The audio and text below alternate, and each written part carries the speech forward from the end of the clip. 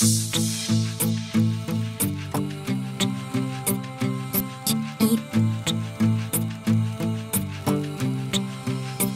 et Anaïta nous ont montré un peu comment se passaient nos, nos jours aujourd'hui. Comme beaucoup d'entre nous vivons sans être heureux et nous ont expliqué un peu le pourquoi. Pour après nous montrer quel est le chemin pour changer ça.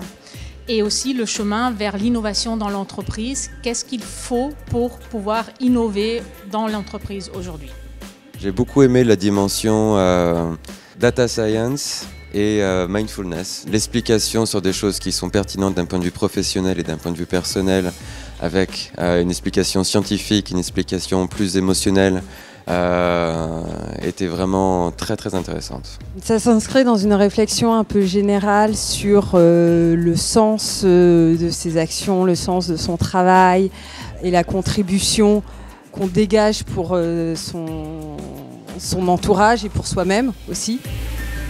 La journée s'est terminée avec une session sur le, chemin vers le bonheur, l'équation euh, du bonheur et le livre que Mo a écrit qui s'appelle Soul for Happy.